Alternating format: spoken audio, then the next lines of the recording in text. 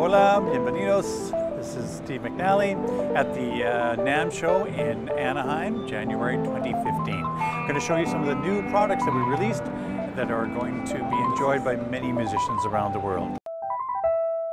Now I'd like to show you something really tiny. This is Korg Little Bits. If you look down here, this is actually a synthesizer.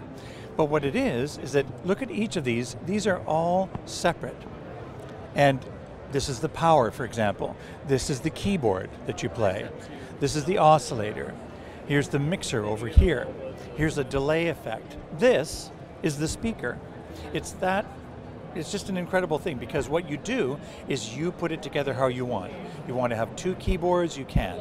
You want to have uh, two filters and, the, and then it goes into the filter, then into the oscillator, then to the filter, and blah, blah, blah everything can be uh, controlled and, and by you but in a nice small way. We've had this out for a little while, but we've added three new additional ones.